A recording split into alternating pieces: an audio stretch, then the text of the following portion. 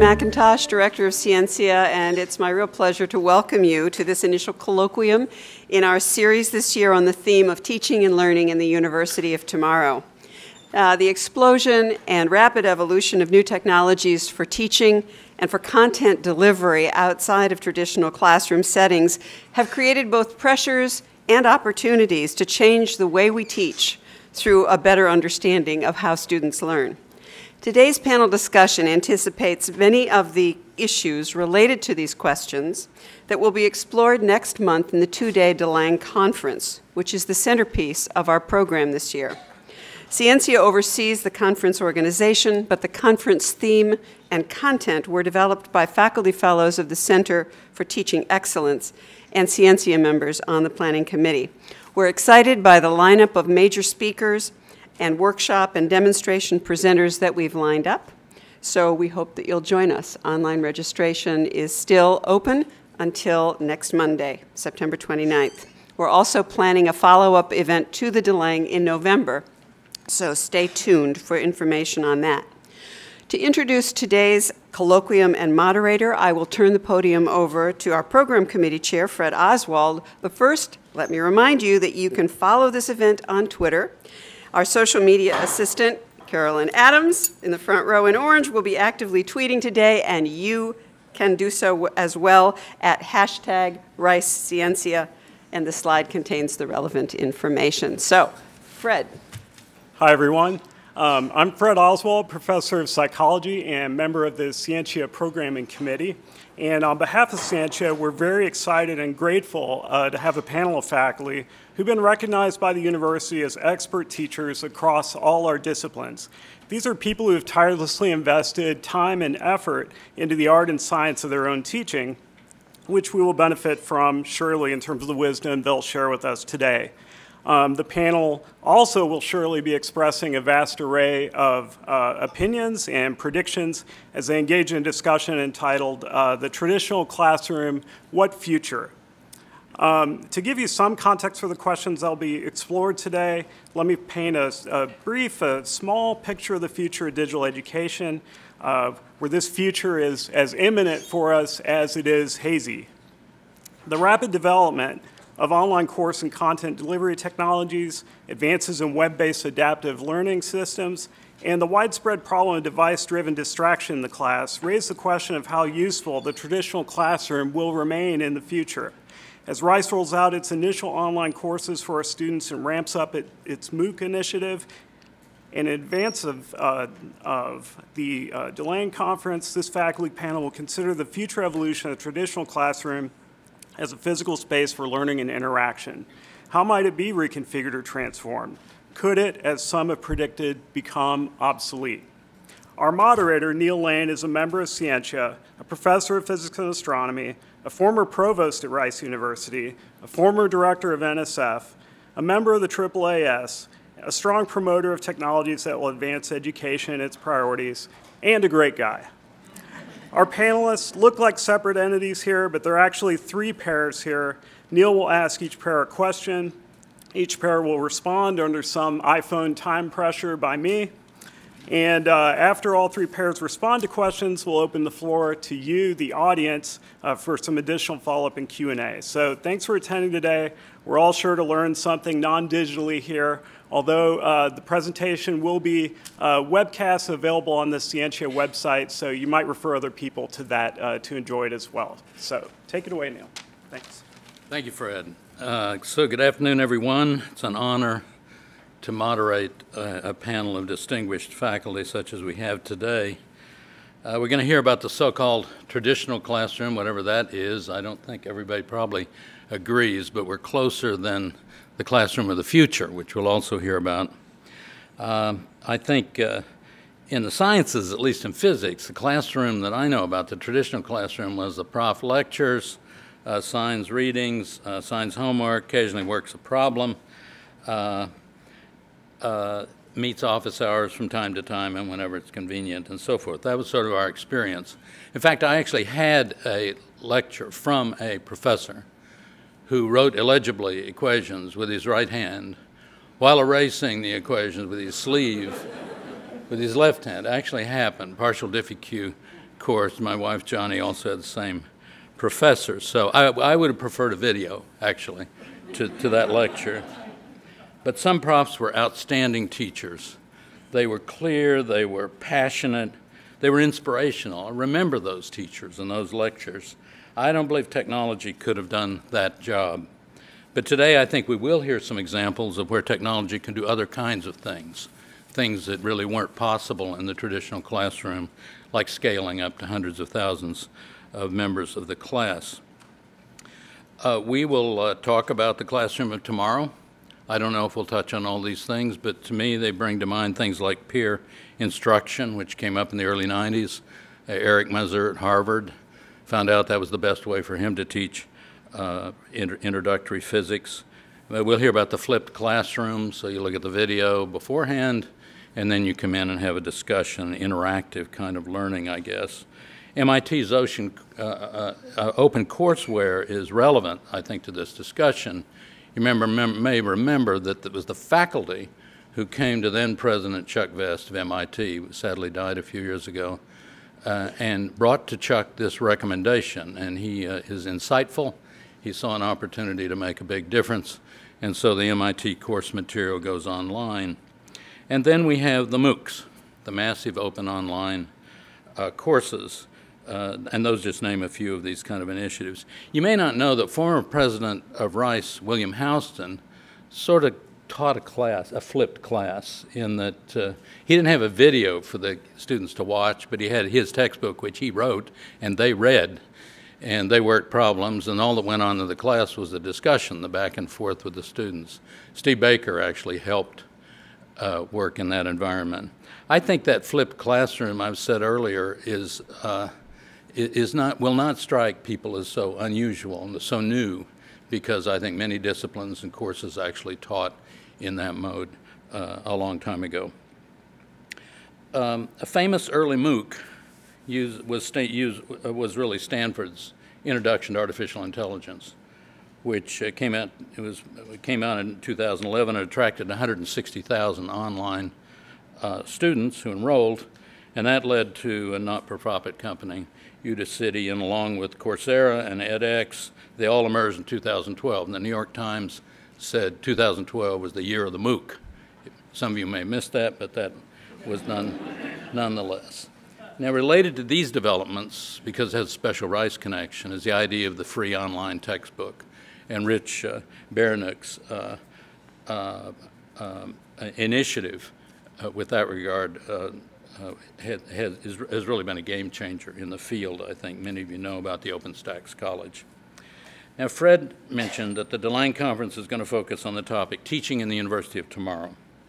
I would guess the end of that important conference, with lots of very distinguished speakers, we're still not going to have a clear picture because nobody really knows what the University of Tomorrow is. But whatever it is, it's going to have classrooms, or at least it's going to have classes. And in reality, all of that is going to be impacted in one way or another by technology. Now, let, I think you heard the plan for the panel, but let me just make sure we're all on the same page here. Uh, the panelists have uh, paired up. They're forming uh, three dyads, Kathy and Caroline, uh, Rachel and, and Özge, and Dennis and Joe. And I'll ask a question to each dyad and invite comments from the two panelists. Uh, then our, our timekeeper will keep us uh, uh, on time so that we have plenty of time for discussion afterwards, because I think there are views out here about what the classroom really is or ought to be, and we definitely want to hear those.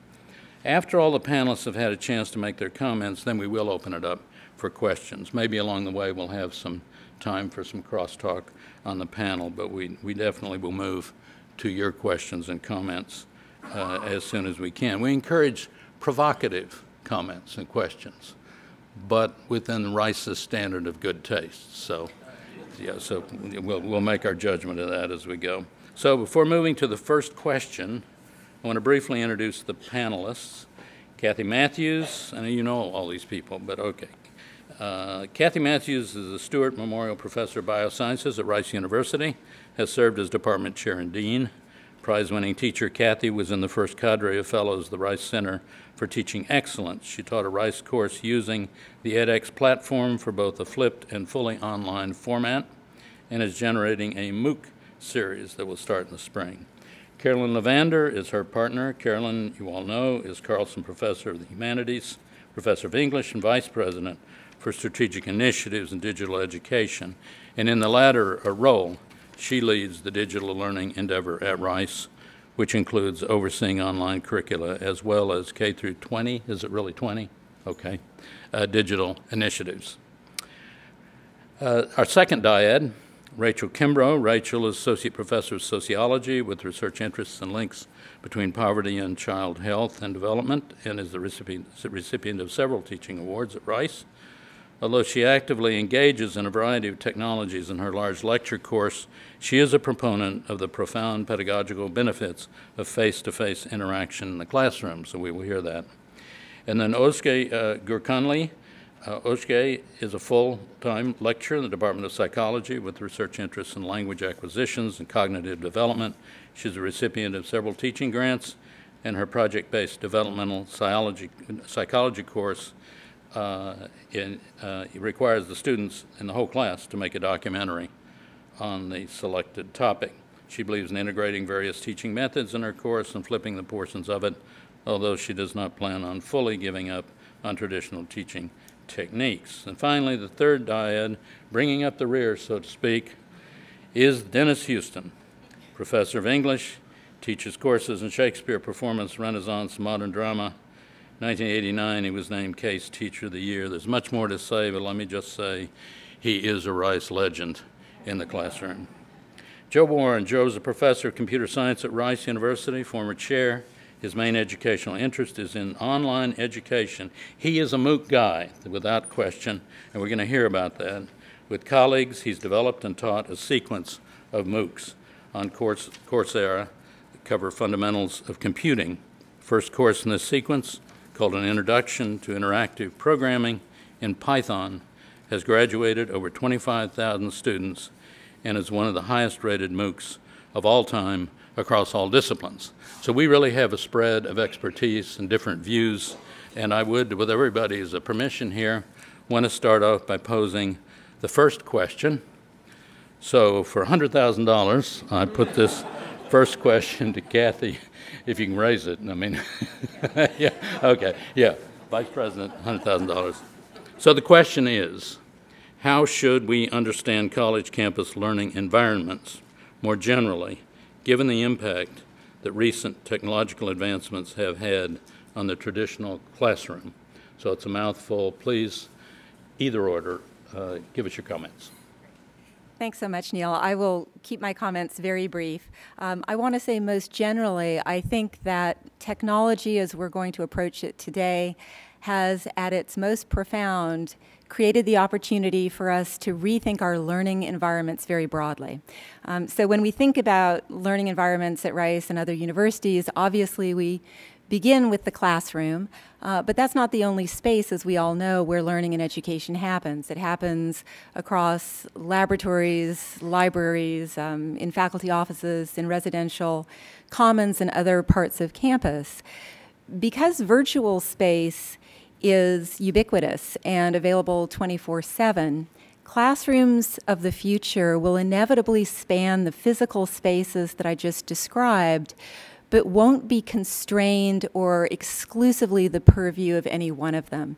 Um, so to give you a, a, sense of an example of this, and you'll be hearing more about this from the faculty who have developed the MOOCs, um, but at Rice, over the last year, year and a half, we've developed a series of experiments uh, in this classroom of the future at both the uh, graduate professional master's uh, level and also the undergraduate level. And to give you a sense of what such a classroom enables, uh, Kathy Matthews's summer online biochem course had students completing assignments and, and course requirements um, from all over the place, including all over the globe. And um, my favorite place, I think, is a student who completed a final project uh, off the Champs-Élysées in Paris. So great, great place to do some good thinking.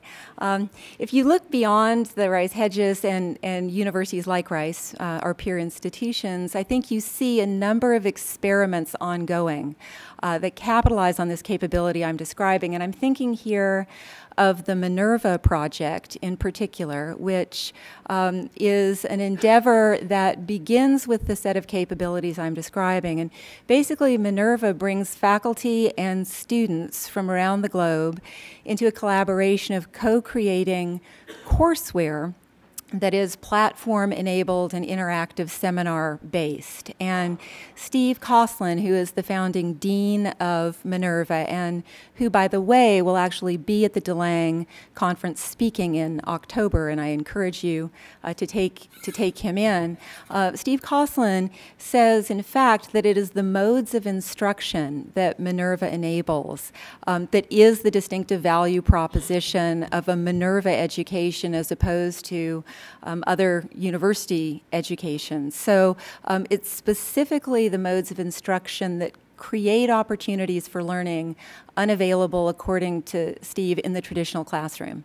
I think if you look even further afield to developing nations and how universities are grappling with the high demand for education around the world, you see an emerging strategy uh, that's termed clicks rather than bricks, right? So scaling the classroom um, using digital technologies. So in some, I would say all of these suggest an emerging future where online education and on-campus instruction will blend, uh, where real-time instruction and continuous education will be probably two pillars of a comprehensive university education and classroom.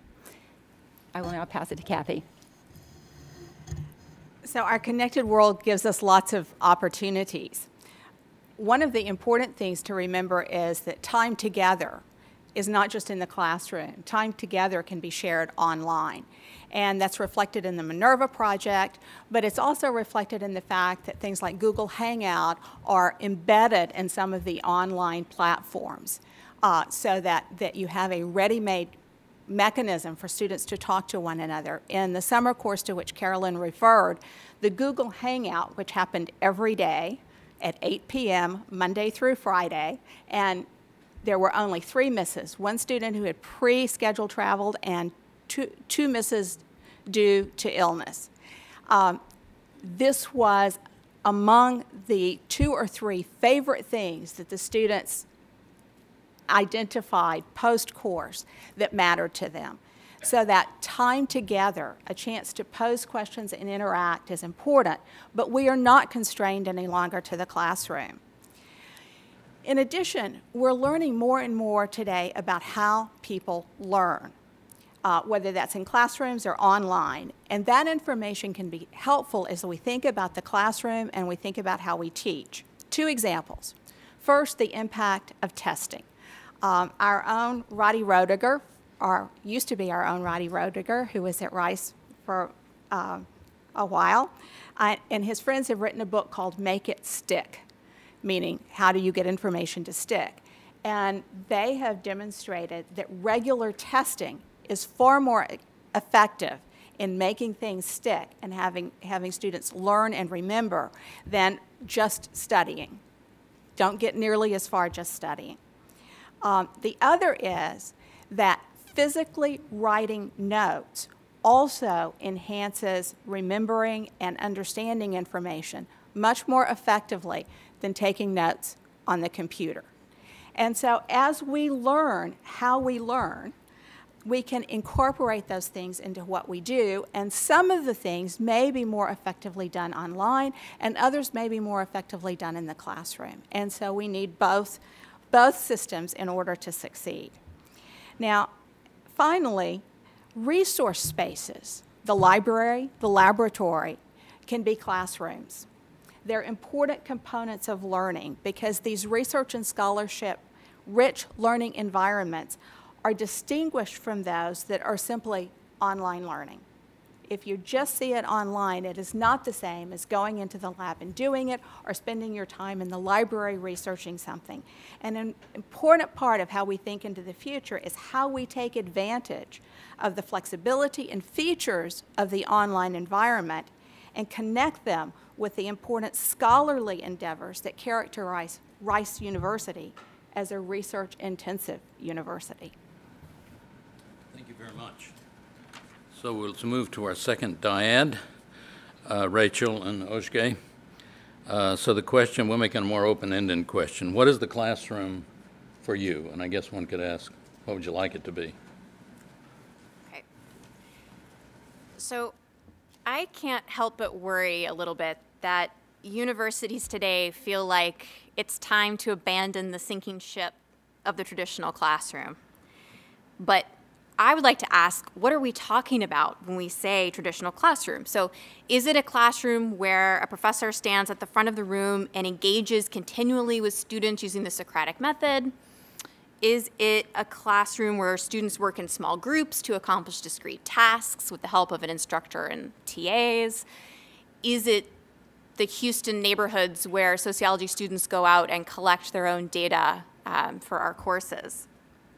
I suspect that when the traditional classroom is used pejoratively, the speaker is usually picturing a classroom like this one, where a professor might stand at the front for an hour and drone on while students are sort of frantically taking notes. Maybe that's what we're talking about. So I would be the first to agree that that method of teaching in many circumstances is probably not the most effective way to learn. But my point is that this framing of the traditional classroom as something that must be overcome is, I think, um, a little dramatic and probably one sided. I also wonder who is doing the framing of this issue, and I think that's always an important thing as a sociologist to think about. So, who stands to benefit if universities transition to expensive online environments? Um, I think we need to think about that. I would like to inject some uh, academic skepticism into this conversation, and I think my reputation for being a curmudgeon on these issues might be why I'm here. Um, I hope so, or else these remarks are a surprise. Um, so I will say I am really moved by the ways that edX and uh, ventures like Khan Academy, Khan Academy have opened up learning to the world. I think that is amazing, and I'm excited for Rice to be a part of that venture, no doubt. Um, I've enjoyed learning about my colleagues' efforts to put course material online, uh, to flip their classrooms and engage students in new ways. I incorporate a bunch of technologies into my courses. I'm not a complete Luddite.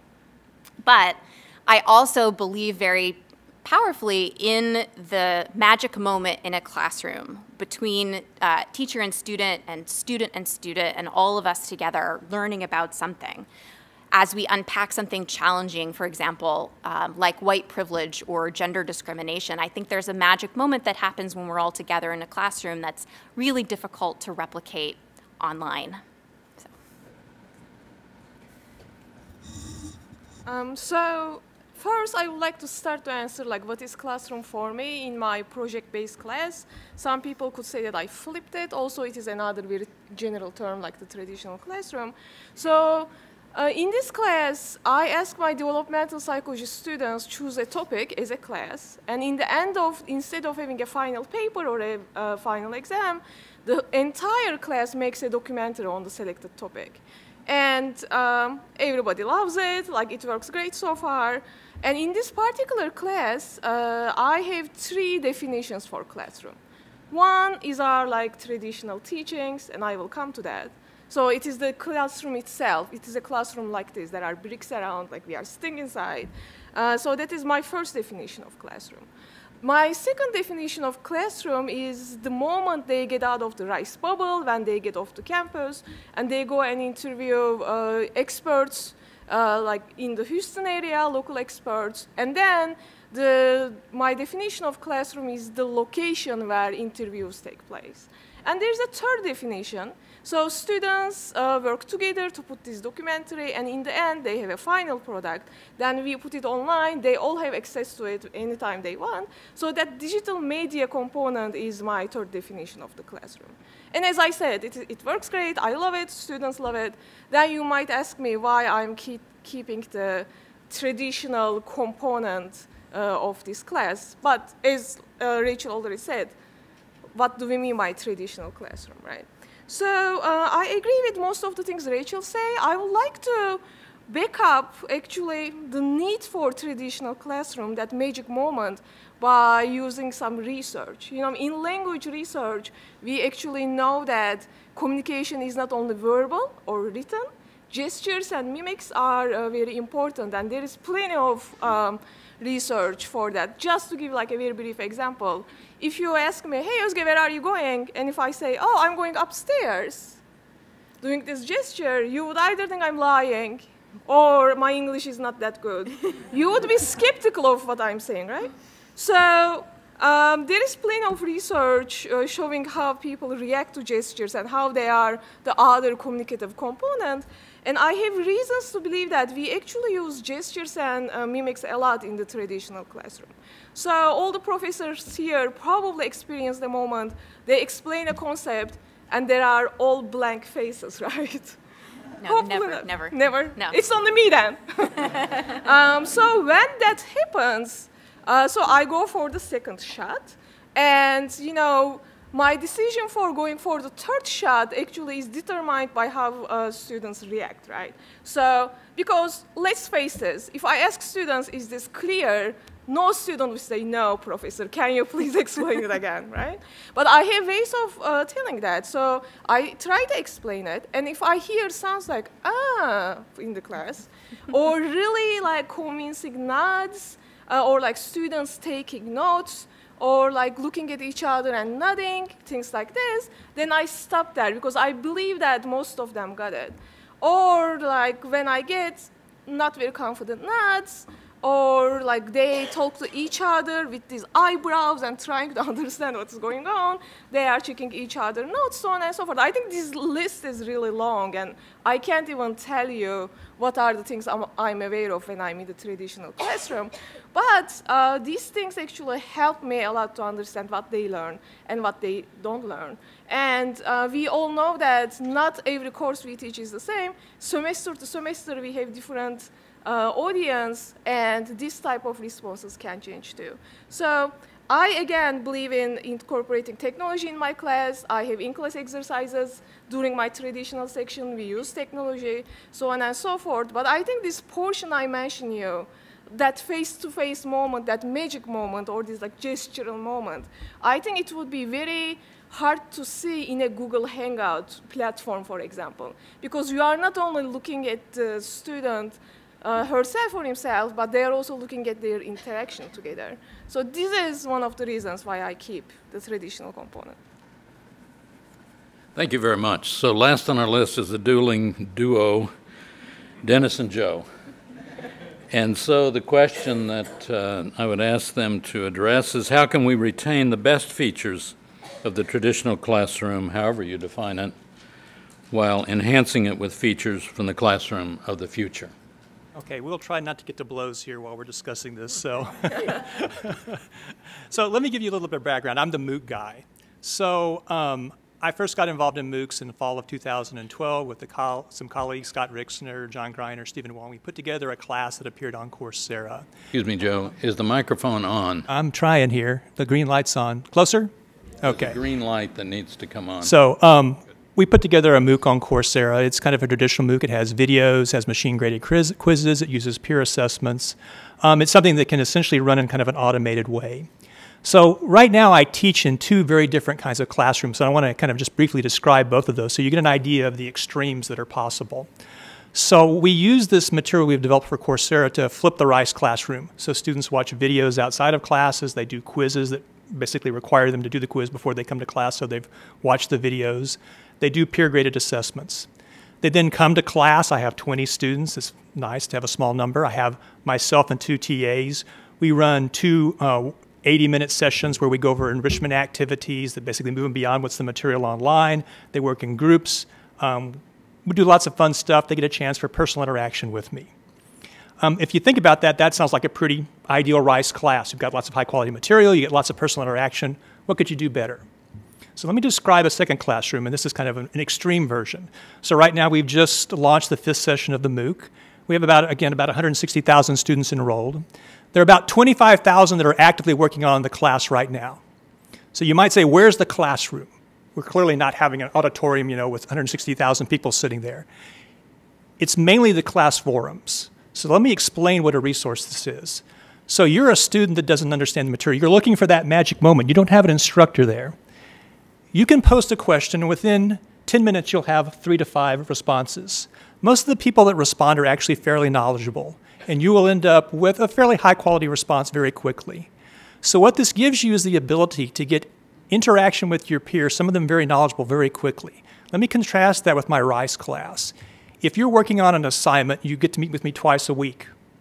Um, if you're stuck and you're brave, and sometimes students aren't brave, you can send me an email. I'll check my email maybe every three hours. So you're talking about a three hour lag time to get information back from me on how to solve the problem. The second thing is, people pointed out, it's hard to get students to ask questions. When there's post every minute, it's very easy to anonymously post questions that allow you to say, oh, I don't understand this. Please, somebody help me understand it.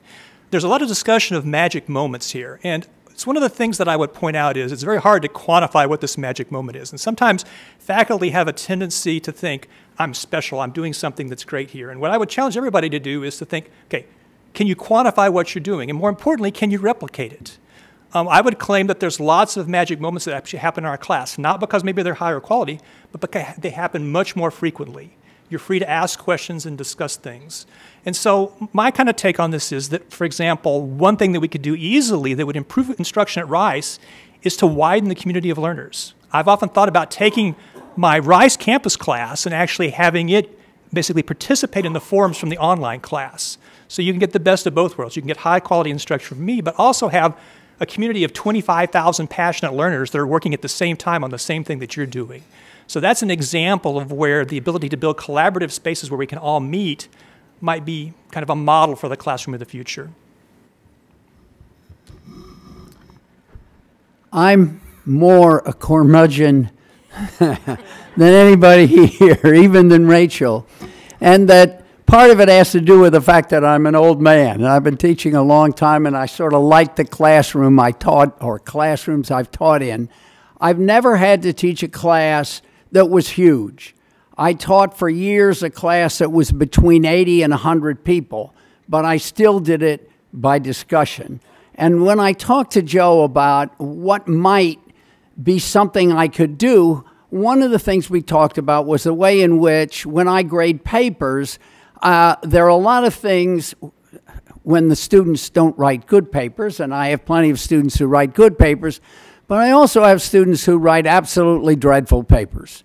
And what I do is that I, I talk to them uh, on paper and then in a discussion that I have with them in, in a conference in my office about the strengths of what they said and the weaknesses of what they said, and then the weaknesses in their writing. And a lot of those weaknesses are, as Joe pointed out to me, things that could be done and put onto a computer so that the computer could read the paper and find things like too many sentences beginning with the subject, tense changes that are unmotivated, number errors, this without any noun following it, passive verbs, um, is constructions, cliches, slang, stuff like that. And it seems to me that that's at least a possibility I never thought about. And it would be something that I wouldn't have to do quite so much when I graded papers. But a lot of the problems with papers have to do with things like overgeneralizations and dangling participial phrases and lack of cohesion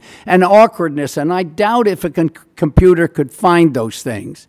And all the rest of what happens in my classroom happens in a kind of face to face way. I try to learn about my students. I hand four by six cards out on the first day of class and have them fill in things about themselves, where they went to high school, what they expect to do in 20 years, uh, what their extracurricular activities are, things like that. So I learn about them. And then when I conduct discussions, I tell them I'll call on them at random. So I watch faces. And I do literally face to face. If a student is confused, I'll ask that student what confuses him. If the student looks like he's hiding or she's hiding from me, I call on that student. And I tell students that I'm going to call on them at random, not because I'm a sadist, though maybe they'll think that by the time I'm through, but because I want them to participate actively and interactively in their own education. And that I tell them that I've read these books more than they have, but that I have no uh, absolute certainty about what I'm going to say, since there are lots of different ways of reading different books, and there's certainly things like wrong answers in texts.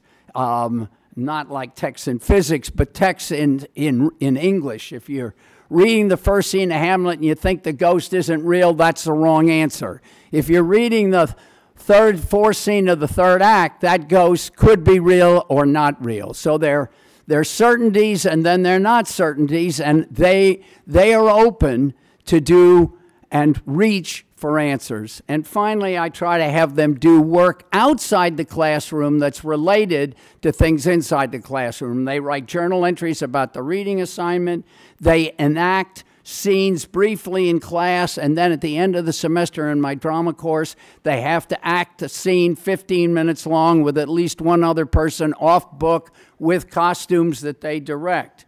They have to um, talk about when they when they take my Shakespeare on film course, the last project is to make a movie on paper. So that what they're doing is using what we do in the classroom, studying film as well as Shakespeare plays, to then project act activities outside of the classroom, which they then bring into the classroom for me to look at.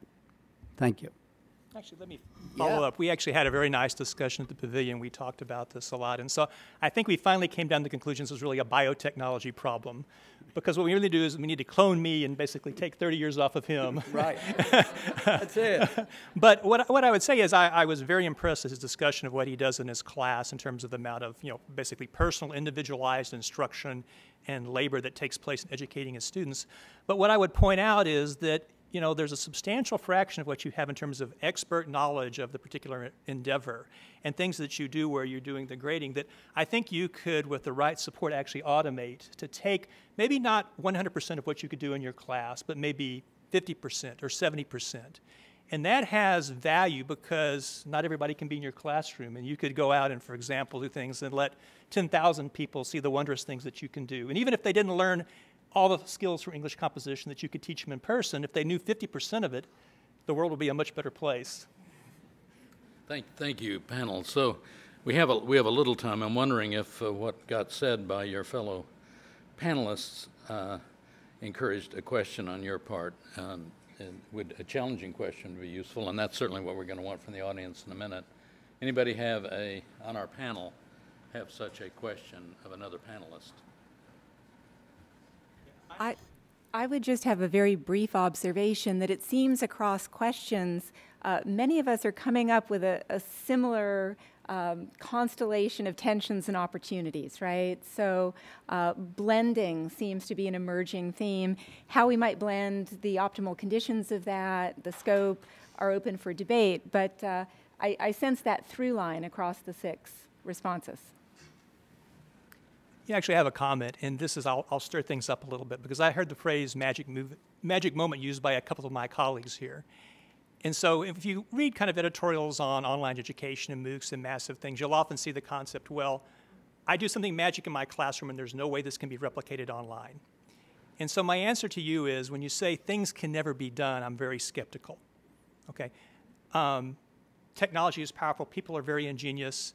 The rewards for doing this are much greater now because you can replicate this across not just one classroom, but to millions of people. And so I would kind of turn this around. Don't think about maybe we can replicate it, but think about what can we do to simulate it, what can we do to extend it, how can we characterize it? Like, you know, for example, I, my response would be if you said I have a magic moment in my classroom, I'd say I have a thousand magic moments. We have an argument we really can't kind of quantify here. I would claim that because you have a thousand times more opportunities for interaction than you do in an, in, in an in-person classroom, your chances of learning are actually greatly increased. So I don't think there's a right and wrong answer here, but I would say that the challenge to the community is to learn how to quantify these issues in a way that we can have, you know, a scientific discussion about them. So does anybody want to react to Joe on this? Everybody agree? Well, I think he's talking to me. Yeah, yeah, no, I am. um, and I hear you. But the concept of trying to quantify my magic moments just drives me nuts. Um, but I, I, I, get what you're saying. And I, I'm also thinking while you're talking, why would I want to replicate this for the masses? Like, what, what is the what's the motivation for doing that? I that's hard for me to it feels like that's sort of being thrown out there as like a given. Well, of course we should be doing this, and I'm not I'm not there. Also, the concept of automating Dennis's grading English papers is very upsetting. Um, It didn't upset him. no, man. See, this is why I'm more of a curmudgeon than, than, than Dennis. Well, I mean, we had a long discussion. We talked about, for example, you know, teaching English composition in high school and the difficulties of doing this, and maybe that, yeah, I think, maybe I'm miscarrying, I hope I'm not miscarrying. You said it was in a sad state. And it's from the fact that it's a very laborious process, that it's just. And high school teachers teach too many cl- classes, as you well know, Lisa. Go ahead. So the, the point would be that, you Too know, you, you can't replicate Dennis, but if we could get 50% of him, the 50% that's maybe easy to replicate, that might do a world of good for high school students in there, where they at least coming out, you know, understand, you know, I learned, I learned some stuff about English talking to him that I didn't know, so. Let me, let me ask a question about flipping the classroom. Kathy, you've done some of both. I mean, you have some comparative, maybe Haven't not done the MOOC data, yet. but Haven't done, Okay. haven't done the MOOC yet. So, you know, I, I yield to Joe on that. Uh, But for fully online, um, the Google Hangouts do allow you, they're limited to 10 people. And you can watch each one, and people are, are, are speaking from their own space. They're comfortable in a way that, that's interesting. And my experience was they weren't afraid to ask questions as opposed to the classroom where I feel like everybody's, nobody wants to step out and ask a question. And maybe it's because we were very careful to say, you know, please ask questions, that's what this is about, we want you to understand the material. But I say that in the classroom too, and I find people have, you know, there are a few people who, you know, their hands goes up every time.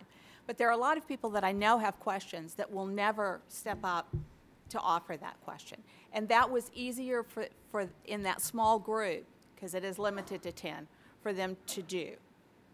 I think we've all had that experience, I think. And, and in Dennis' course, you don't have any choice, right? They get called on. And as I recall you saying, after a while, then, then you, you, you don't brutalize them. I mean, you leave them alone. Brutal, brutalize, a nice word. I, after about six weeks, if it's still clear that stu- a student doesn't want to be called on, I leave him or her alone. But for the first six weeks of a class, I call on in my in my two classes right now, which are small, they're 20 and 19. I call on virtually every student in every single class. So I think it's uh, time maybe to open it up and get questions. Is there a roving mic? I don't see a mic roving. Well, while, it, while you run a roving mic, I want to say one other thing, and that's to Kathy, is I'm not sure you want them comfortable in a classroom. Thank that, you, That I want them, I want them alert, and I want them to be thinking hard and to be aware and to be ready. Now, years ago, many, many years ago, I tried law school, and it was not my bag. But I was tremendously impressed by the way they taught and the way they changed the cases after somebody had talked about a case and changed something in the case and then said, What does that happen? What then happens? And I felt that that was a tremendously important thing for me to do in a classroom was keep asking questions and slightly change them and get them concentrating so they aren't comfortable. I don't want them comfortable, I just want them to talk. Well, I can say firsthand, I've been uncomfortable in a lot of classrooms, so uh, it seems like a good way to approach. So we have questions, but we do not have a mic, so please, uh, since some of us are quite old, uh, if you wouldn't mind speaking up, please. Yes. Thank you, Neal. Uh, I'm so impressed with all of the comments that have been made. Uh, I was very grateful to Rachel's uh, uh, observation that uh, as there's a lot of talk about blending the new with the old, but for some reason, uh, what is happening is a kind of um, attack on the old that, that has gotten very popular, and that's not so good. Um, I just wanted to add one thing, may- maybe just two, and that is that the difference between Dennis Huston at 50% and Dennis Huston at 100% is not countable. And I really Um, I really think you have to experience that, to, to know. For better or for worse. I've only experienced it on the racquetball court, but I can tell you that, that, that there is something, fifty percent of Dennis to a lot of people um, would be a fantastic thing. But to lose what Dennis does at hundred percent would be a tragic loss in my mind. Thing I want to say uh, uh, is, and, and again, I'm a, very much a supporter of all the new things coming down. I'm excited about them. Um, but uh, I do want to say there's something that I haven't heard much talk about, and that's it's not just how students feel when they have a teacher before them, beside, rather than a screen. I'm sure there are lots of students who prefer a screen. Uh, it's how the teacher feels. Um, when I'm in front of the classroom, uh, something happens to me. And when I am talking about a great poem that I've read 50 times and taught many times, but I have a single student respond to it in a way that I've never seen before. And, and the kind of magic that we're talking about, it's not just the magic of the student, what's brought out in the teacher when they are in the space of, of the kind sharing that, that Kathy was talking so eloquently uh, about. And uh, so I very much hope, I hope on the one hand, that we get more and more MOOCs because I think there are too many students who can't afford the education of the art. At the same time, um, even if it turns out that only a small population can continue to get what we can give them in a, classroom face to face, to lose that um, would be a massive tragedy. in my. I didn't do that, Deborah.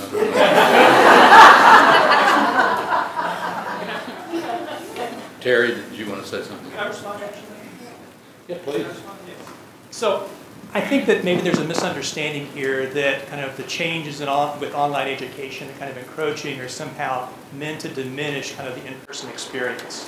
What I envision is that in some sense we're free to choose the best path that enhances our abilities as a teacher. I don't want to see Dennis on campus doing anything less than 100%. But I think his ability to take 50% of it and actually project him out to folks that could benefit from it is actually quite important. It won't happen. we need kind of a biotechnology Right. I will say another interesting experience having done online classes. You talk about kind of moments where you understand things. Let me, let me say that my experience in doing on-campus classes versus doing online classes is actually that it's tremendously enhanced my on-campus experience because the students online are actually more challenging.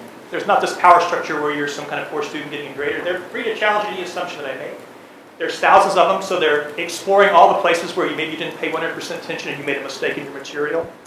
And so what I found is that the material that's gone past the MOOC students actually enhances my on-campus material a lot. So I think the message to take is don't think of this as, an op- as a kind of situation to fear, but an opportunity to exploit.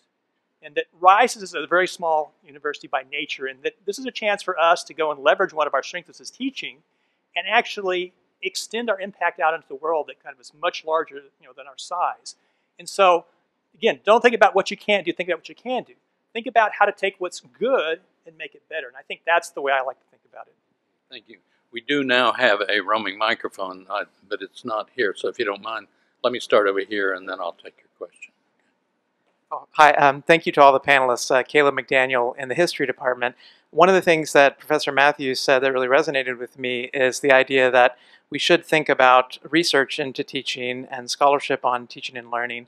But it also seems to me that, um, you know, in recent years, the general thrust of scholarship on teaching and learning is to emphasize uh, how different learning is in different disciplines.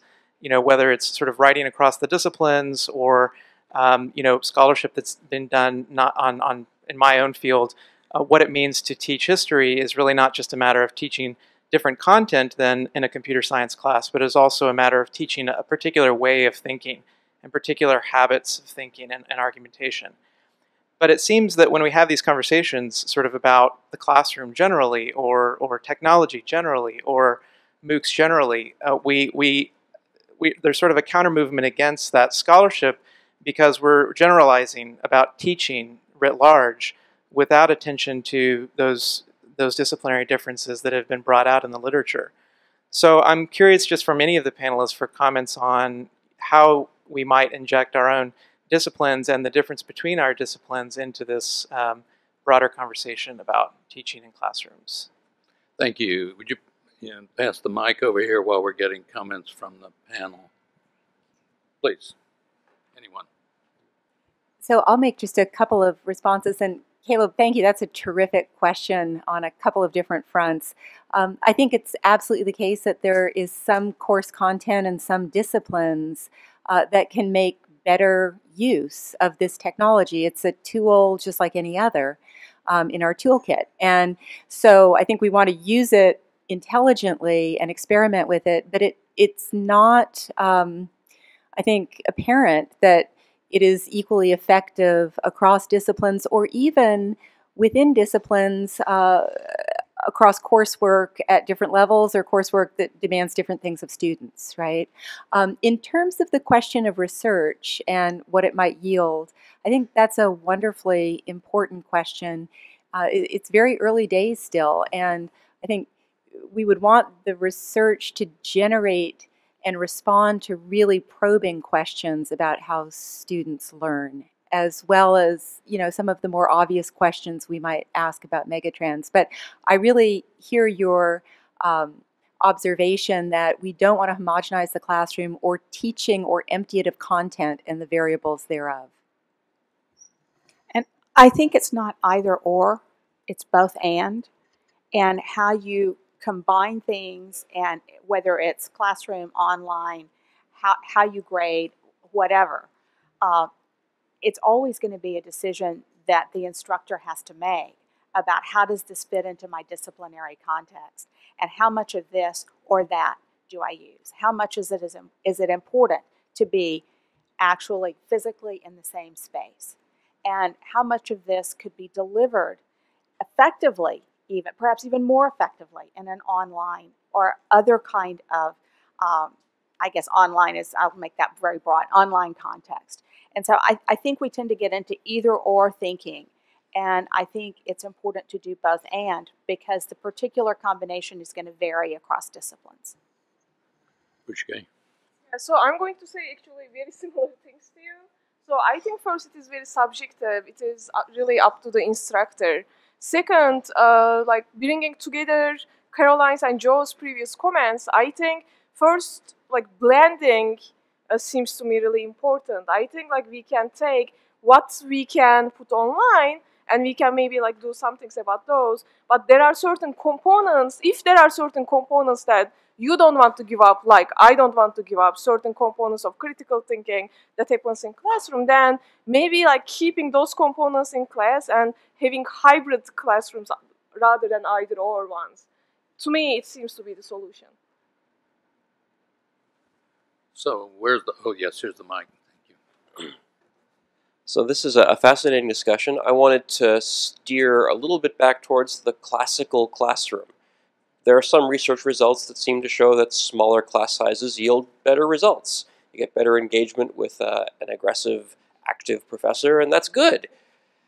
And there will always be a market for that. There's always going to be a parent willing to pay a premium for their child to go to a beautiful, august university and have that, that classical experience.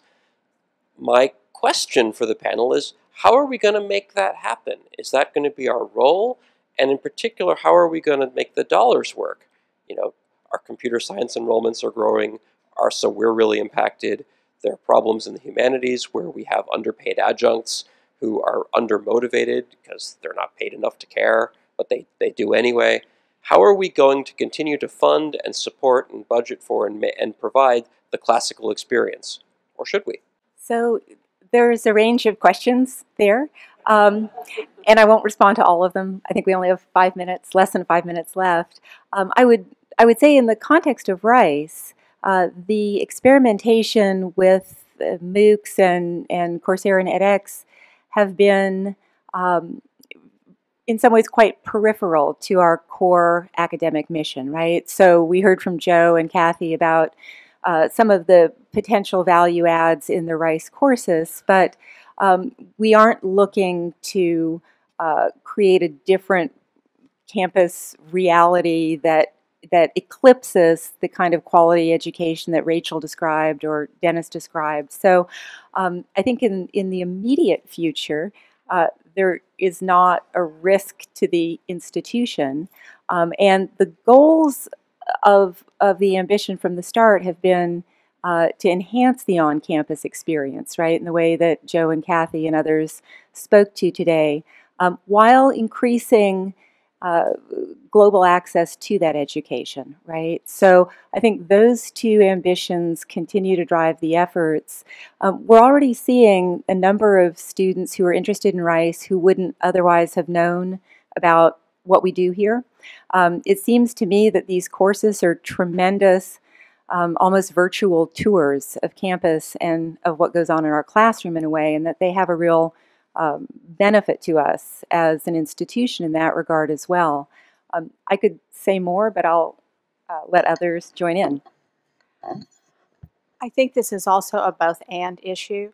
I think the reality is that the direct contact, and specifically the direct contact with scholarship and a scholarly approach to material, and a direct contact with research when you get into the to science and engineering is a really important component of what Rice offers as an education, and it is the premium that people pay to have access to that.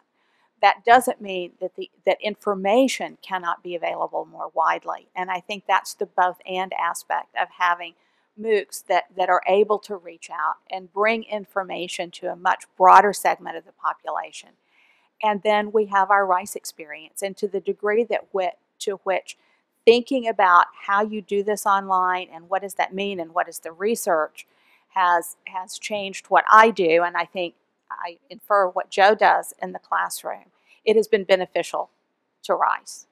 And engaging Rice students in that process itself has been beneficial for them in understanding how this works and understanding their own discipline in a new way because they've had to think about it from the other side. Other questions? All the way to the back, Susan.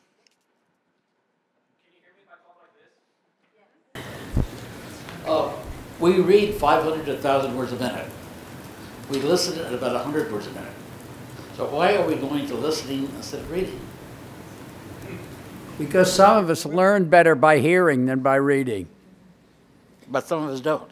No, I'm, I'm not saying that everybody should learn that right. way. I'm just saying that some people are people who learn better from hearing other people talk and taking it in. I know I did when I was at school and still do. Okay. So uh, a couple of you brought up the idea of quantifying the learning experience. And so I feel fairly comfortable asking this question because I'm a psychologist, Simon Fischer-Baum, uh, who studies memory and who has done some things that are somewhat related to this idea of um, how we might quantify the learning experience. Um, and one thing that comes up every time you do that is um, you end up making simplifications about um, what type of experiment you're doing. You look for memory for facts. You look for how well people can read a paragraph and then recite the facts that were already in that paragraph. And as we start to quantify the learning experience in a way that we can start to scientifically analyze it, um, it feels like we're learn, losing some parts of what's critical about learning, what the things are that we should be doing in our classrooms. And so I was wondering how, as we move forward with this endeavor, which uh, I think is great and obviously should move forward, how we make sure that um, we don't get too stuck in the things that we can quantify while ignoring the things that are important to be teaching. Thank you. Comments? Maybe, please. Here, I'll, I will actually make a comment here. I'm the, I'm the MOOC guy, so let me just say a little bit about my first 23 years here. My first 23 years at Rice, I fancied myself as a, as a reasonable classroom professor.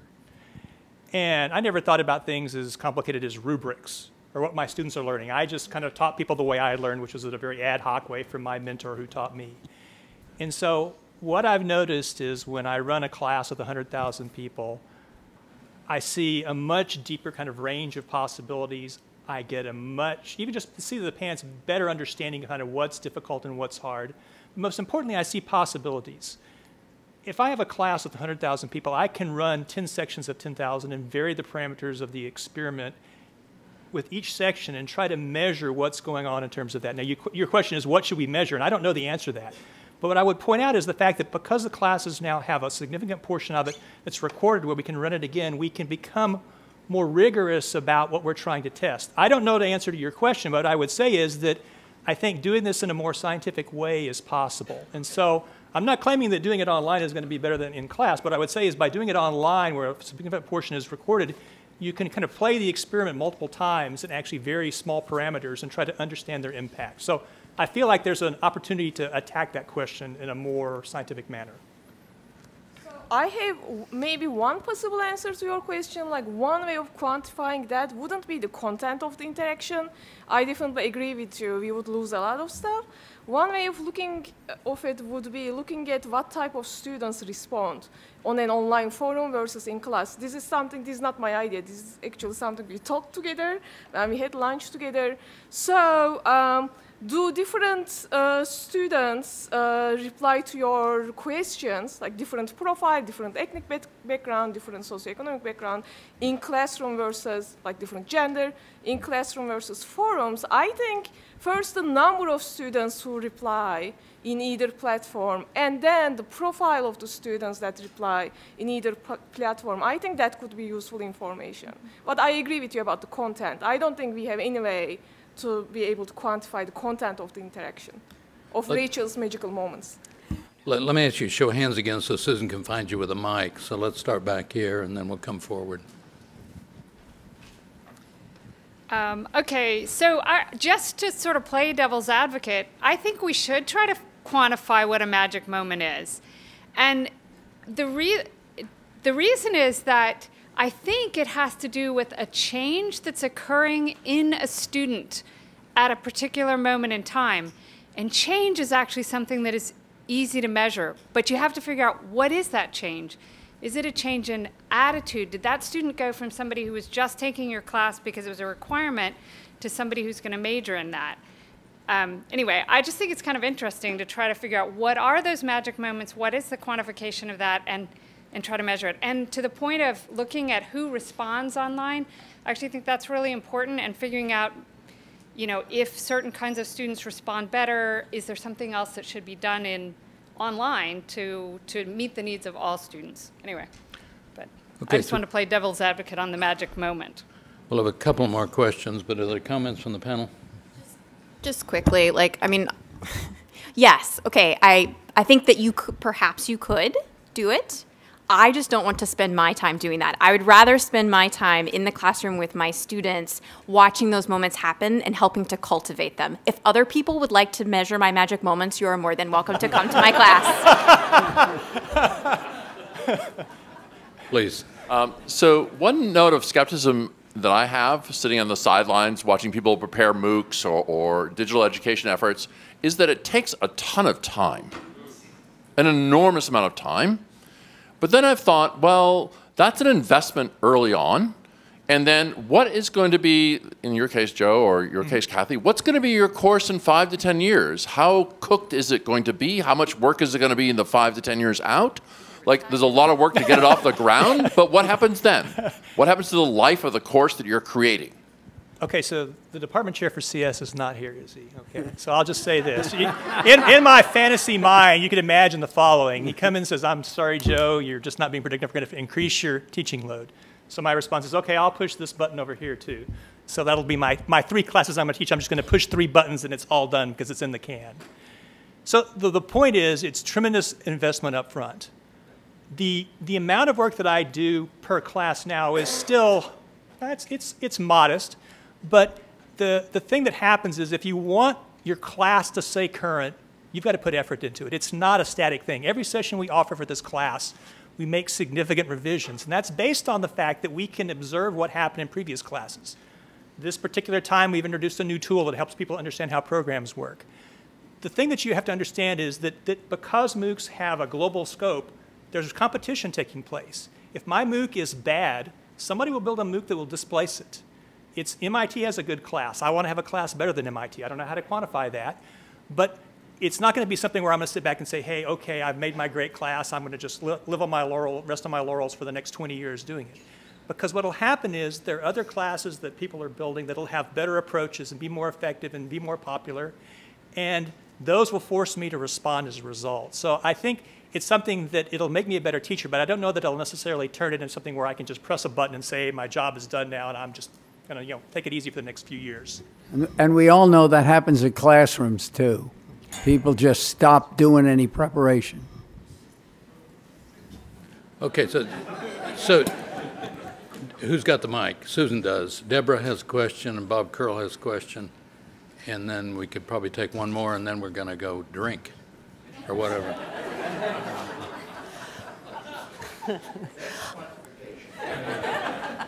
I wanted to, um, I want to preface this by saying that I, I think the MOOCs are incredible and, and that there is a huge need and that our universities have, have gotten so expensive not everybody can get educated. And uh, I just have so much respect for what's going on and I hope to do one myself at some point.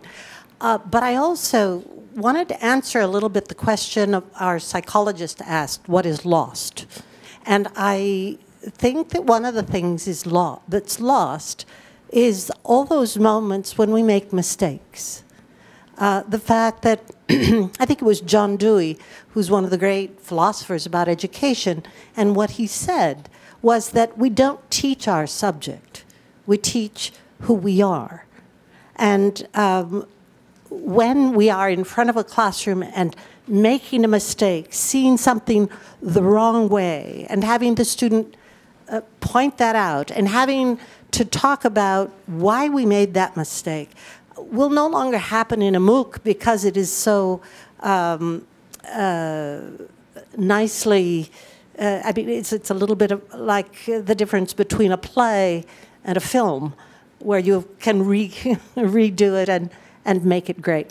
Um, so I do. Uh, um, uh, I think someone over here asked a great question that was not really answered. How can we hold on to both of these approaches? How can we build the MOOCs, which I think is extremely important, and not lose something that uh, is is is really valuable?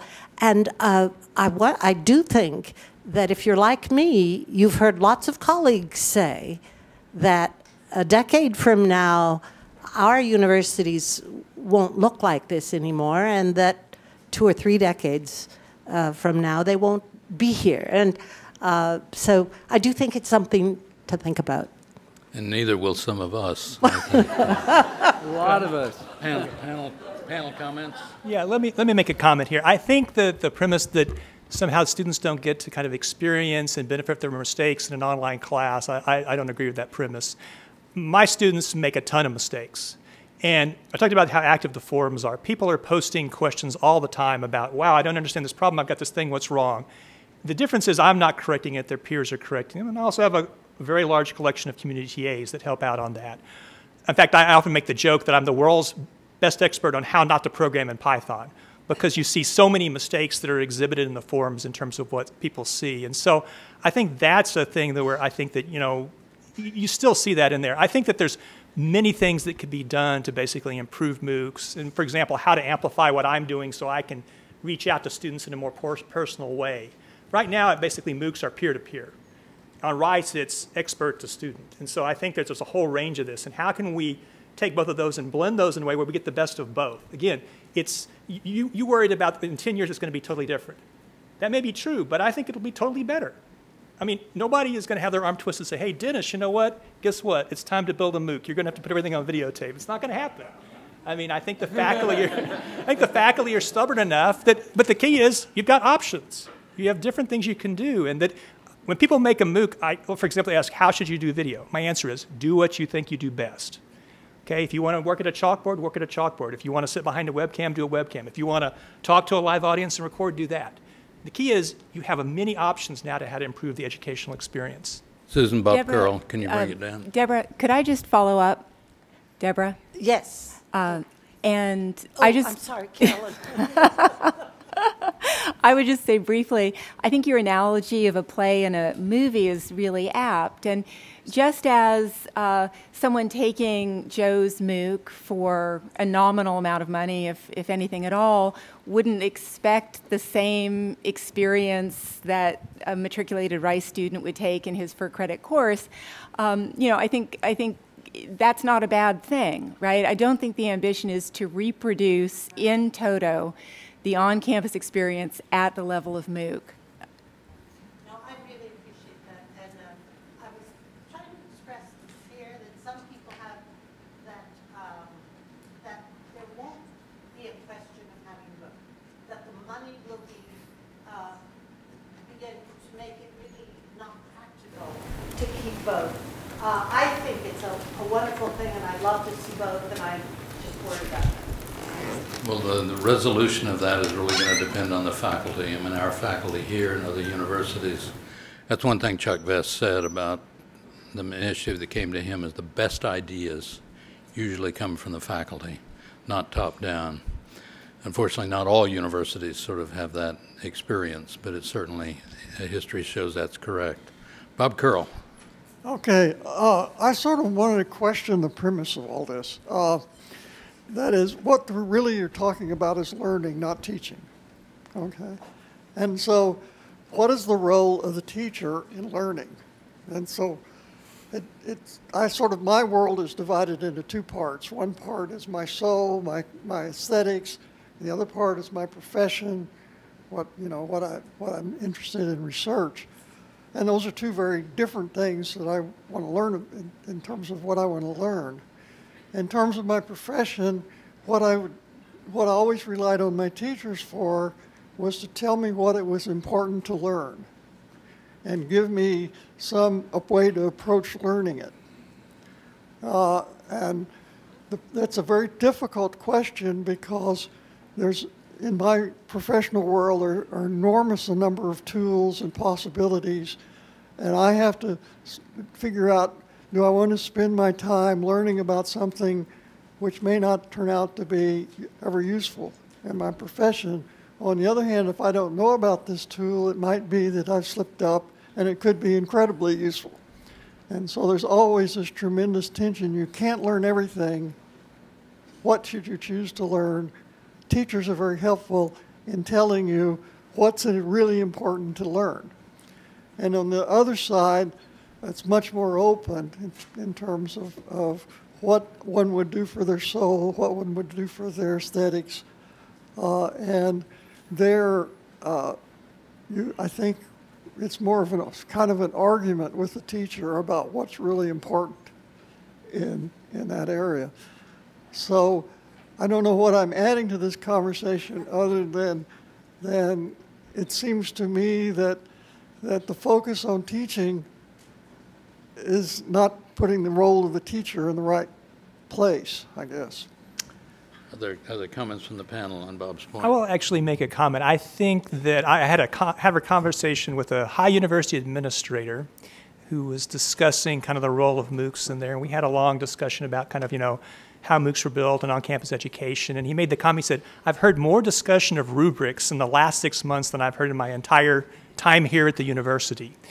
And so what happens is that I think because MOOCs are threatening, they're a possible profit center, they're a way to shake up the order, they provide a greater emphasis on thinking about how are we teaching, what are we doing? And so for me, I mean, again, I'll just be honest. I, for 23 years, I focused on research. I did a reasonable job in teaching.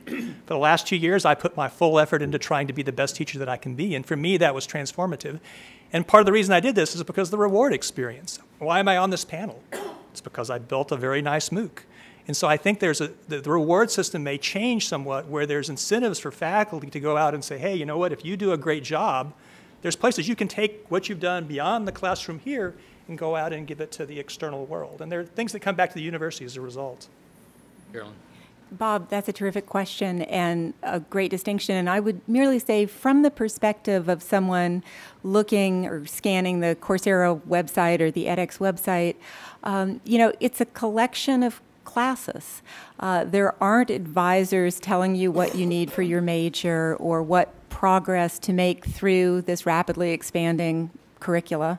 Um, you know, the, the founders of edX and Coursera both want as many courses as, as possible quite quickly, um, but there aren't the kind of advising, mentoring uh, components built into making sense of that growing corpus. And I think that's a key thing to remember as well. There are specializations that are starting to emerge, three or four courses in a row, but that's really the extent of it. So I think the last question, Rich. Oh, my. It, it's better be profound. It better be good, huh? Yeah. wow. Let's go drink. well, I just wanted to say that uh, periodically in this uh, discussion that's been largely anecdotal, the issue of of research has come up. And I think that part of the problem and, and much of the resistance uh, that occurs on sort of old school teachers, on the part of old school teachers, that they really don't understand the research and they're not, they don't have access to that research. And one of the really important um, institutions that we have here now at Rice is the Center for Teaching Excellence. And of course, Kathy has, has played a major role in this, and Josh, uh, as the head of this operation, is, is a person who's a source of this kind of information. And just even in conversation, he's, uh, I, I, asked him one time, you know, what is the most important thing that you've discovered in research over education in the last decade? And he said, not to talk over 15 minutes at a time. And I think it's a wonderfully insightful thing uh, to say about teaching. And I think if we if we avail of those kinds of resources like the center and Josh and so forth, we can learn more about the research that informs these various perspectives, and we'll, we'll be the better for it. I just want to say Steve Cox has, has been the, the director. I only stepped in to replace him while he was on sabbatical. He's back and is now the director again. He's back. Okay, great. Thank you. And it's been a wonderful panel. Thank you very much.